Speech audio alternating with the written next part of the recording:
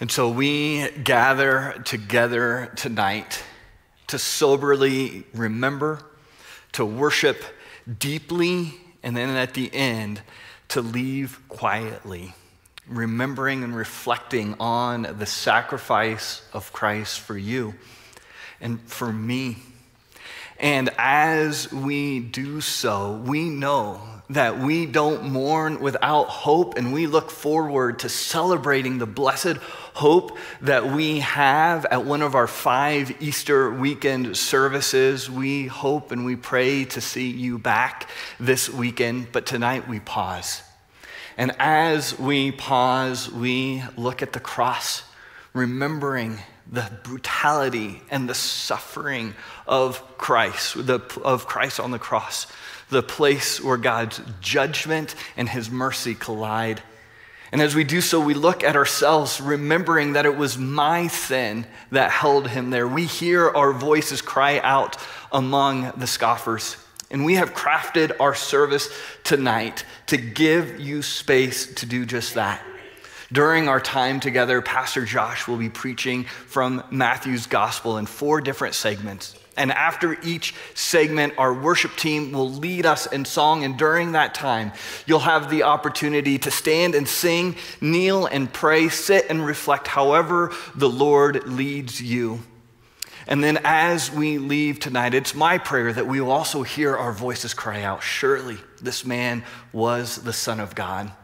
But let us prepare now to hear from God's word.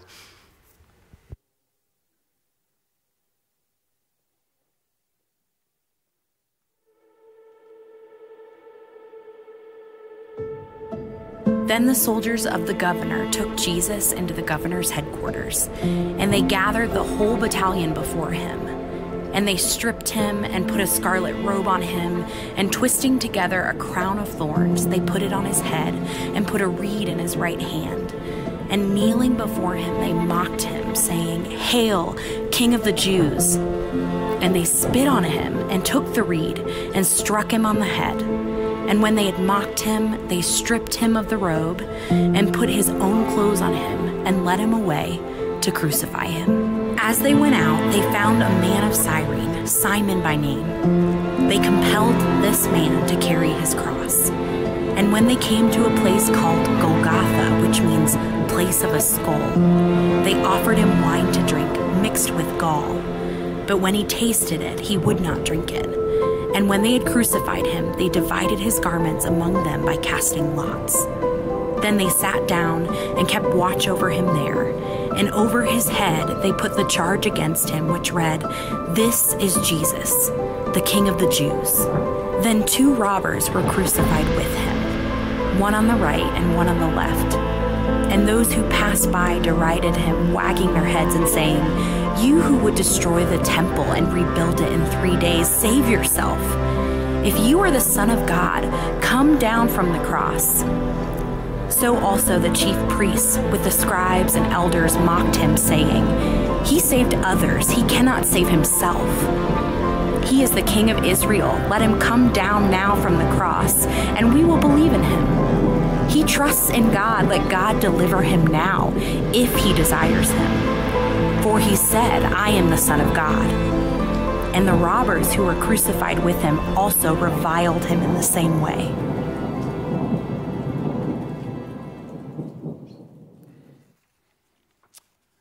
Good evening.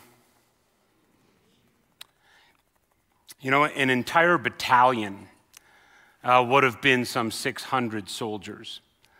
Uh, but a lot of commentators don't believe that Matthew was being so precise.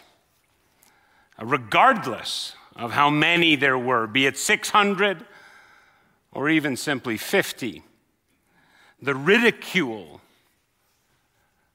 that Jesus endured. It's almost unbearable to imagine. Uh, the pain, I think, too great for us to dwell upon. At this point, Pilate had already had Jesus scourged. It was a whipping with a multi lashed whip, each strand embedded with shards of bone and metal. It would tear through the skin. It would expose bone and internal organs. The punishment itself was very often fatal.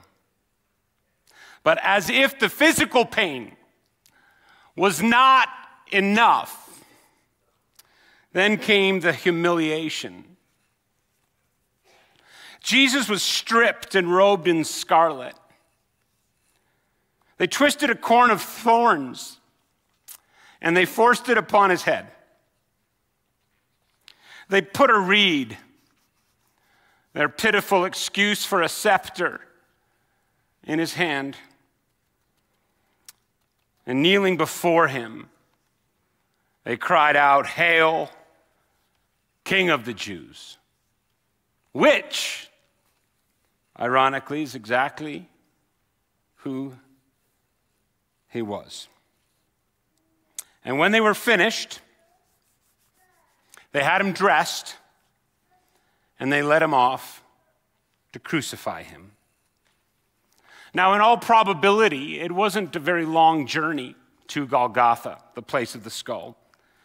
But since Romans forced the prisoner to carry their own cross, and given Jesus' lack of sleep,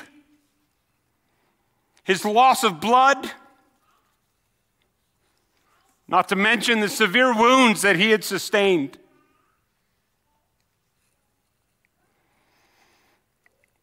He was unable to make the journey. And so they compelled a man, Simon of Cyrene, to help Jesus carry the cross and take his last steps. Matthew's description of the crucifixion itself is, is dramatically understated. He simply says, and when they had crucified him. That's it. Perhaps because his listeners were already vividly aware of crucifixion, that most brutal form of execution. Or perhaps because, as awful as Matthew knew crucifixion to be, perhaps in the mocking of those who looked on. Maybe for Matthew, that was potentially the greater injustice. The soldiers they mocked our Lord. I'm not sure that we can even comprehend the immense thirst that our Lord was experiencing. And what small relief it must have been to see a soldier extend to him some wine, only to sip it and to realize that they had mockingly mixed that wine with gall, making it bitter and undrinkable. Just so they could laugh at his enthusiasm at getting a drink. And to have it taken away so quickly. As Jesus hung there in agony, they callously divided his garments among themselves by casting lots. And in doing so, unknowingly fulfill what Psalm 22 said was going to happen. And then they hung the charge against him above his head. This is Jesus, King of the Jews. Their laughter undoubtedly echoing in Jesus' ears. But it was not the only thing that Jesus had to listen to. Those that randomly were walking by that day, they took their shots at Christ as well. They scoffed at him. They were wagging their heads at him in disgust. And like Satan had tried before, they unknowingly tempted Jesus, saying, If you are the Son of God, come down from the cross. The tragic irony being that it was, in fact, because he was the Son of God and out of obedience to his heavenly Father that Jesus could not come down. And the chief priests, the scribes, the elders, the religious elite, they had their run at him too. They didn't even have the courtesy of, of addressing Jesus directly, but instead within earshot, talking about him in front of him, ensuring that he heard, would say he saved others, but he cannot save himself. He's the king of Israel. Let him come down now from the cross, and we will believe in him. He trusts in God. Let God deliver him now. If he desires him, for he said, I am the Son of God. But on top of it all, and perhaps the greatest misplaced demonstration of moxie of all time the two robbers crucified alongside Jesus.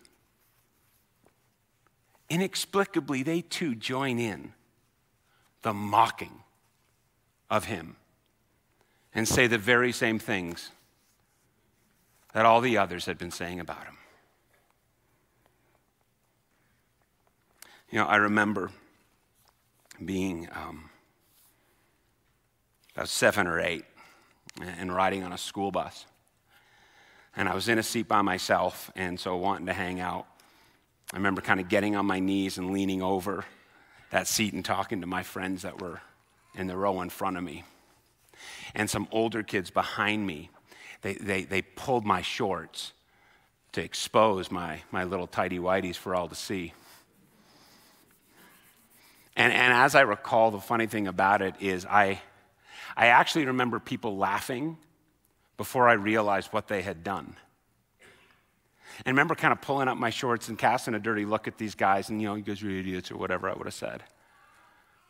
And then I got back up to talk to my friends, and they did it again.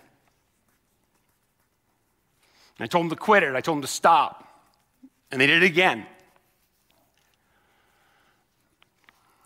And, and I remember just kind of sitting in my seat by myself hearing the laughter around me.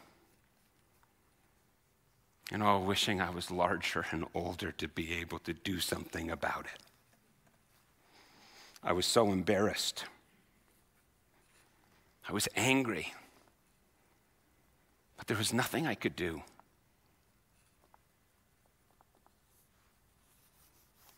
Jesus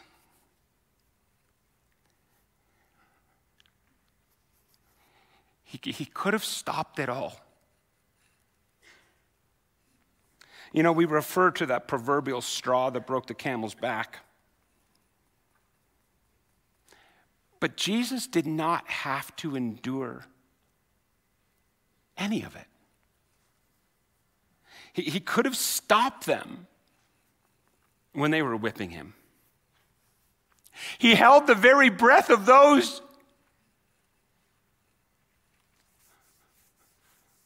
who were beating him in his hands. Jesus could have changed that bitter wine to water and given himself just a small little bit of physical relief. He could have made all those mockers mute he could have, as the old song says, called 10,000 angels to make it stop. But he didn't. Jesus suffered all of that for us. He suffered that. for you.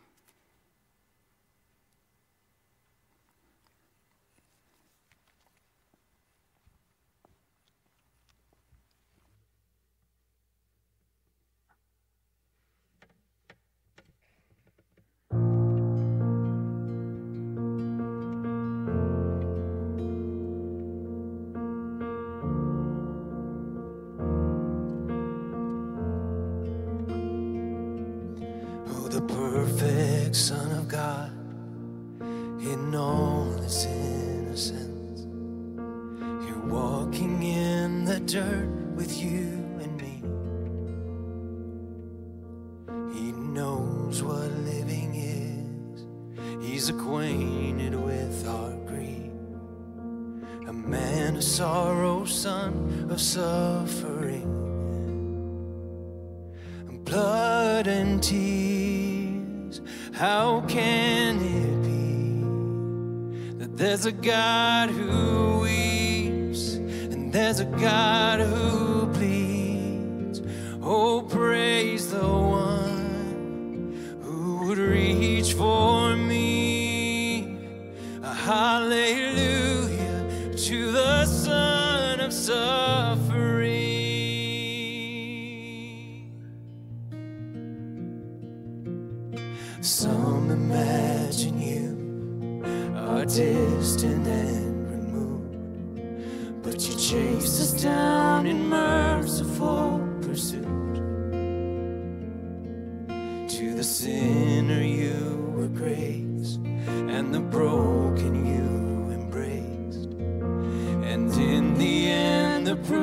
is in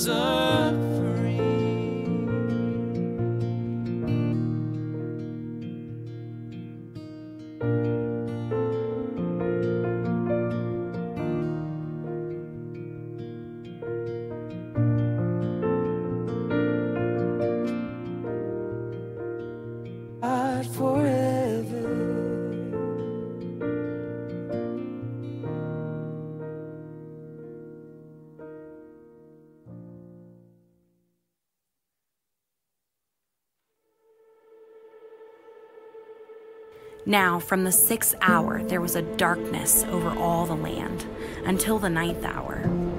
And about the ninth hour, Jesus cried out with a loud voice, saying, Eli, Eli, lema sabachthani. That is, My God, my God, why have you forsaken me? And some of the bystanders, hearing it, said, This man is calling Elijah. And one of them at once ran and took a sponge, filled it with sour wine, and put it on a reed and gave it to him to drink. But the other said, Wait, let us see whether Elijah will come to save him. And Jesus cried out again with a loud voice and yielded up his spirit.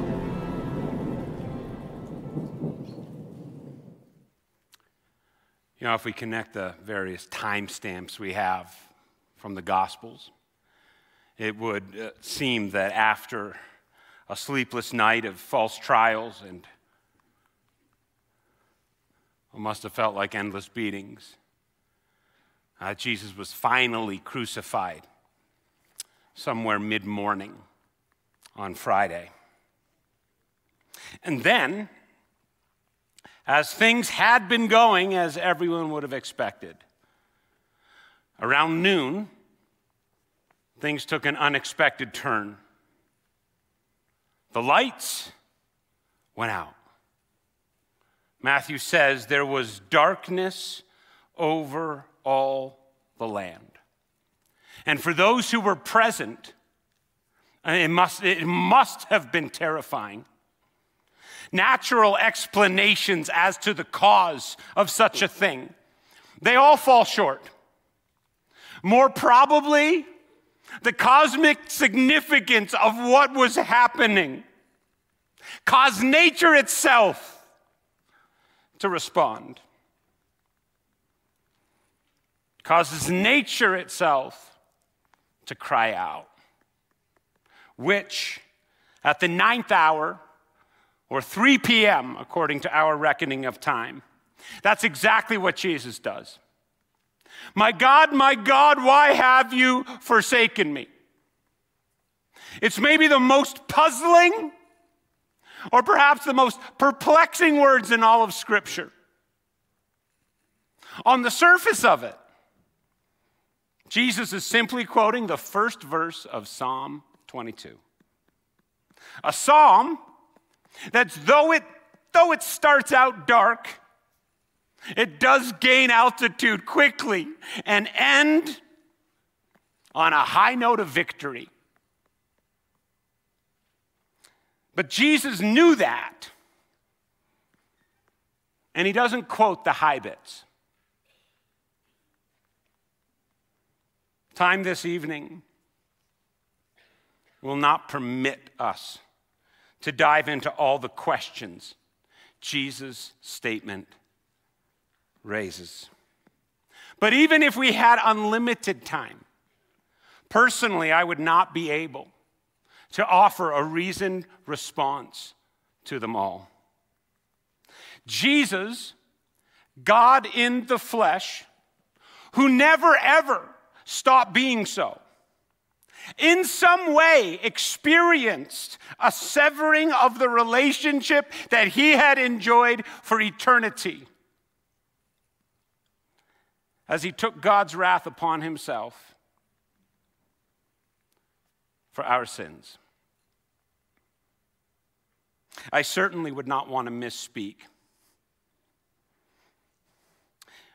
And I believe that Jesus knows everything. But it does feel to me like, in a real way, this, this caught him a little by surprise. That, that he didn't recognize fully, in a way, just how heavy the weight of our sin would be and what it would feel like for the first time to experience a distance between him and his heavenly Father. And to add insult to injury, some of the bystanders, they, they misheard what Jesus was saying, and they thought he was calling for Elijah. Uh, because in Hebrew, uh, Elijah sounds a lot like God does in Aramaic. And so when a bystander goes to give him a drink, the crowd stops him because they want to see if Jesus' is suffering would actually make Elijah do something. And that'd be kind of cool to see. Which brings us to verse 50, which for me has hit very hard this week.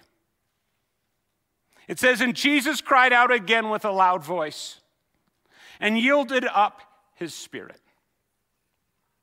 And why does it hit so hard? I think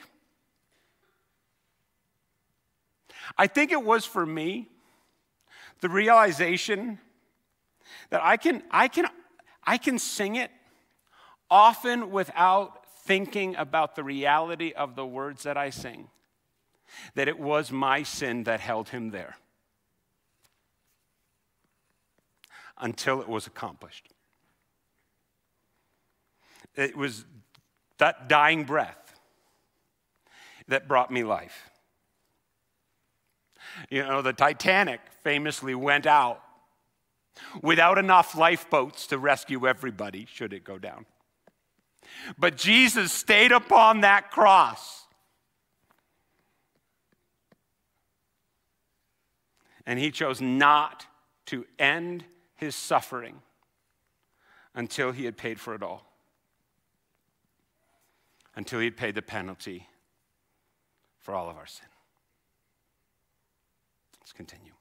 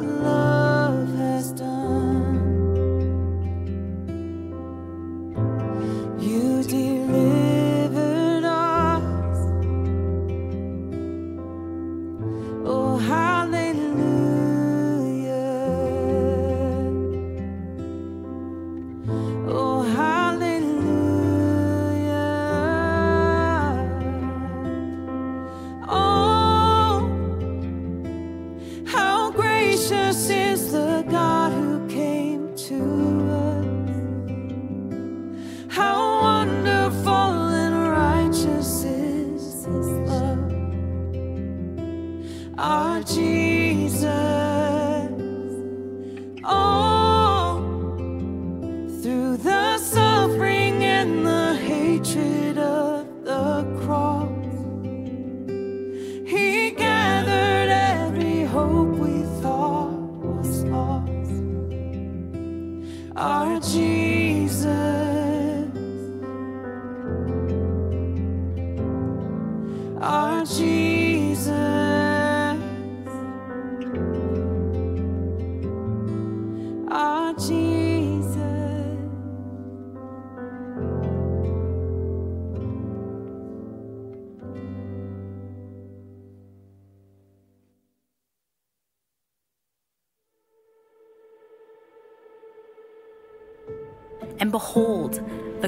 The temple was torn in two from top to bottom, and the earth shook, and the rocks were split.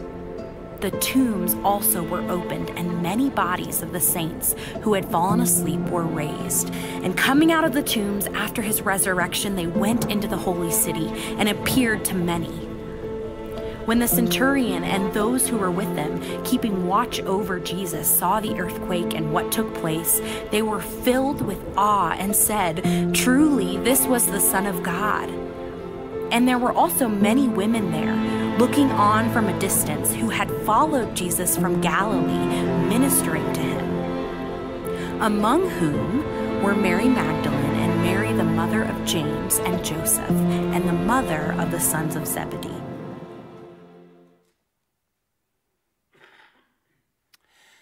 That section does raise a question or two. But creation and those who were in the know all testify to the unprecedented circumstances that surrounded the death of the Son of God when he finally chose to give up his spirit. The curtain of the temple uh, the curtain that separated the holy place from the most holy place was torn in two from top to bottom, thereby taking away that barrier between us and our most holy God. And the earth itself responded. He gave up his spirit, and the earth began to shake and rocks were split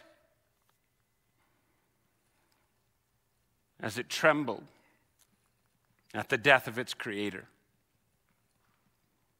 And tombs were opened. It is surreal, and Matthew is the only author to record the event, and very briefly so. But at Christ's death, Tombs that had been shut, seemingly for centuries, were opened. And then upon Jesus' resurrection, those bodies got up and went into the holy city. And I would have loved to have seen the looks on people's faces that day.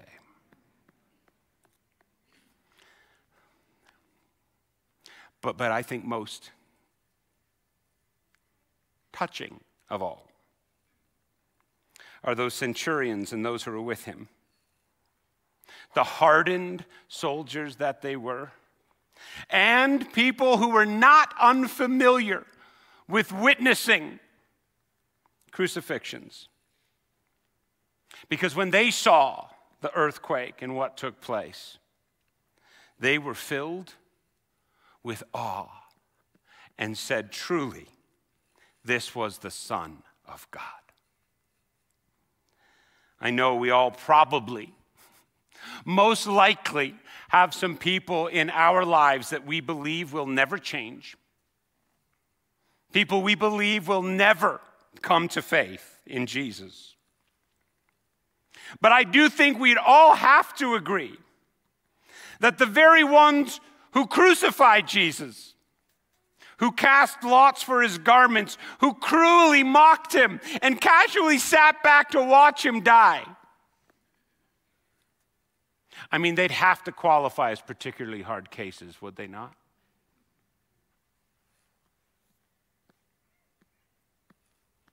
But the death of Jesus changed them. Jesus. Jesus changed them. Has He changed you? And might, might it be a good time to sit in a bit on what we've been reflecting upon? Matthew does not record any disciples being present, but only some of the women who had cared for Jesus from the beginning. Presumably, it was their testimony that went forth and let the gospel writers know what happened. But Matthew tells us that they were there. And I quote, looking on from a distance. And in a real way, so are we. We were looking on upon the crucifixion of Jesus Christ some 2,000 plus years later. But we too want to look upon him. We want to consider what he endured for us. And we're going to take a minute in silent reflection to do just that.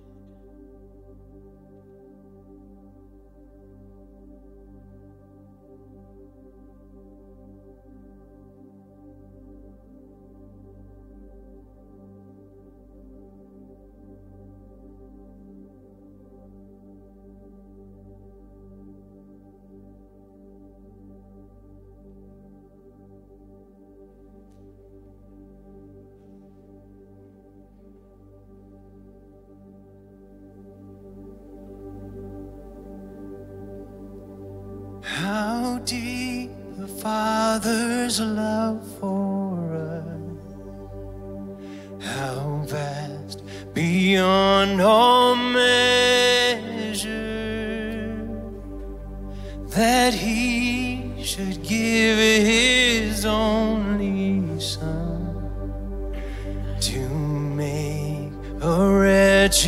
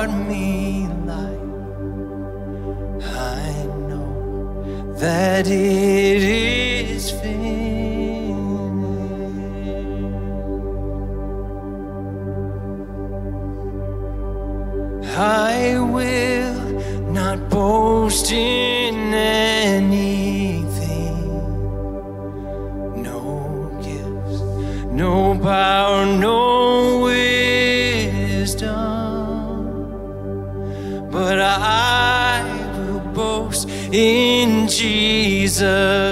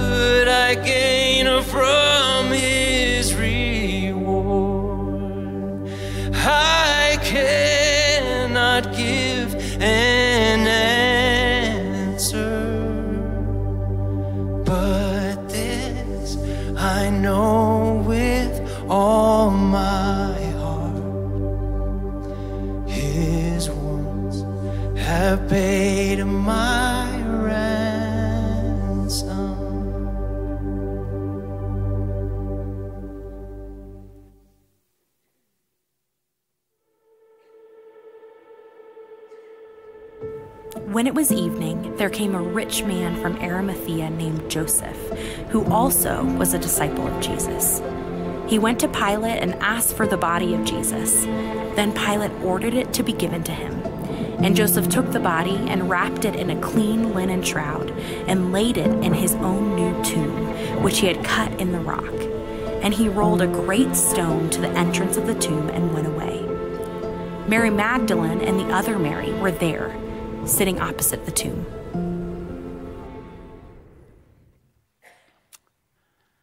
Joseph, we know from the Gospels, from Luke, was a member of the Sanhedrin.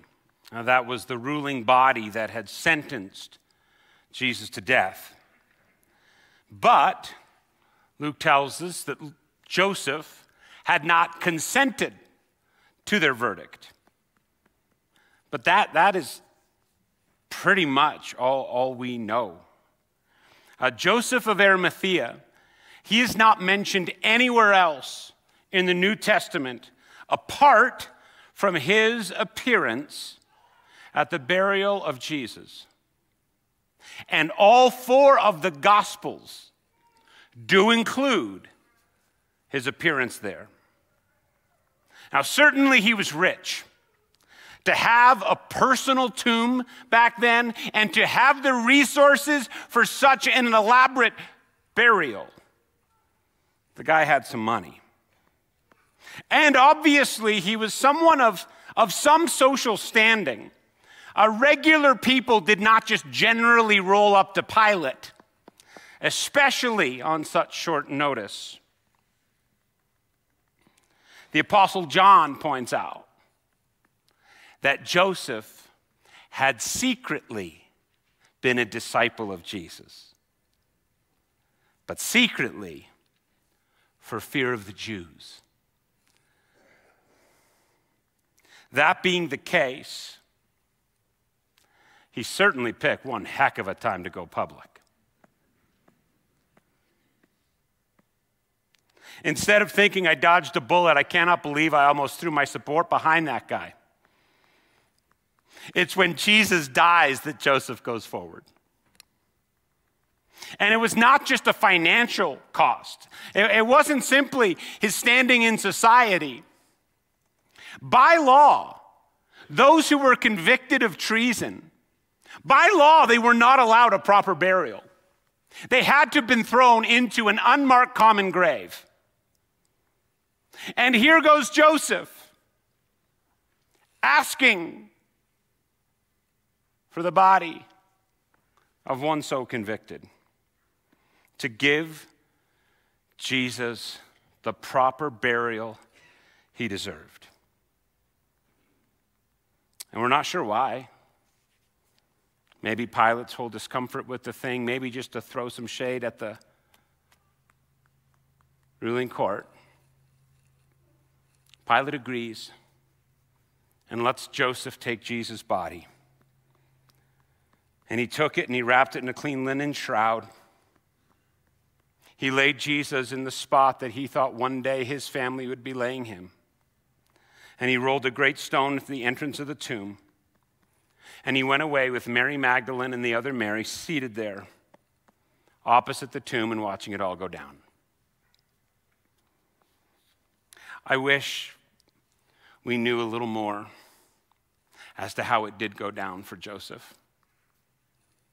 Why, after so long of staying secret, why was it at this moment, at this time, that he decided to make his allegiance known?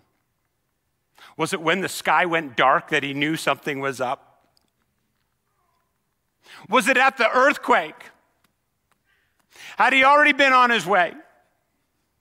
Did his wife support him or was she upset? Whatever it is,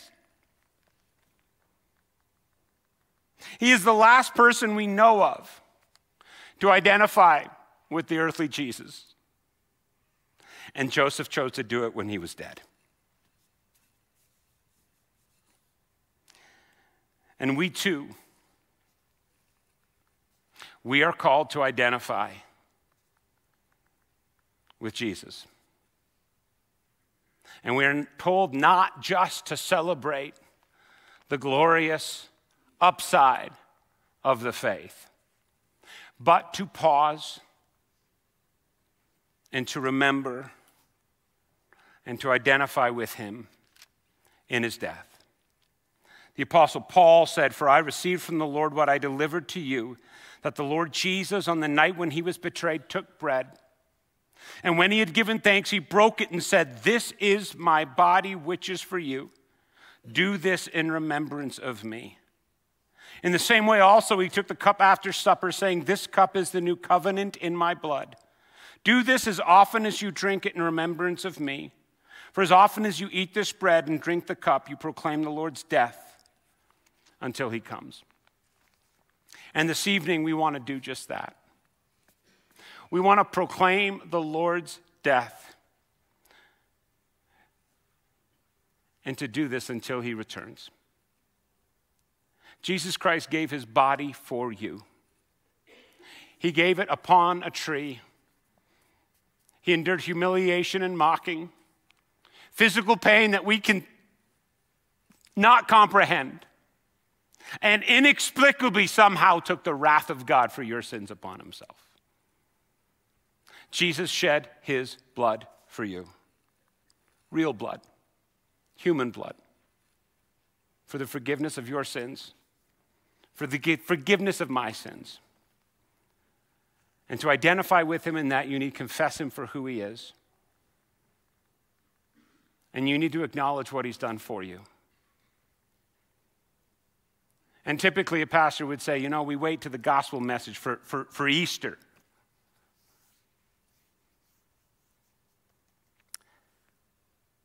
But Jesus' death impacted some centurions. And maybe this night, his death will impact you. We're going to give you a moment to reflect. Our servers will come forward and hand out the elements. If you do not know the Lord, we'd ask you just to hand them to the person next to you. But different than our regular services, we want to give you time to process on your own. And so, as soon as you have the elements, feel free to reflect and to pray. And when you are ready, to participate in taking the elements on your own or perhaps with those you came with. And we will worship and we will conclude our service. So, servers, come forward, please. And when you get the elements, take your time and participate when you're ready.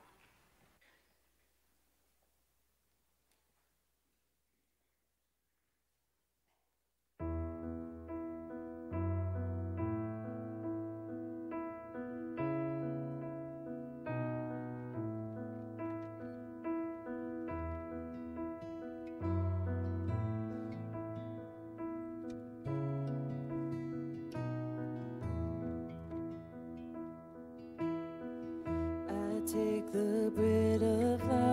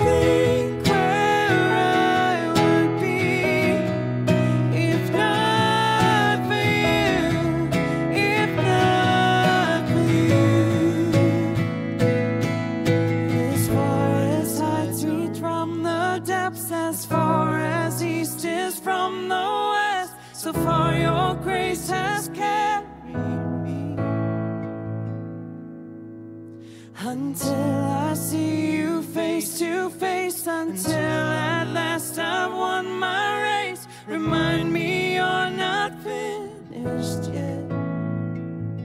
Hallelujah.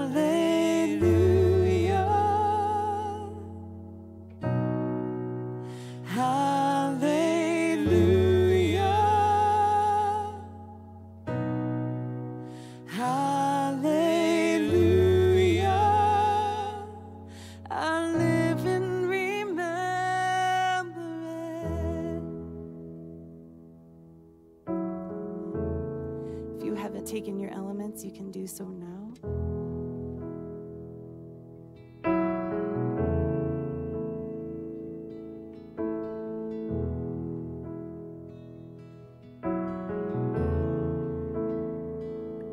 As we close with one last song, we invite you all to stand with us.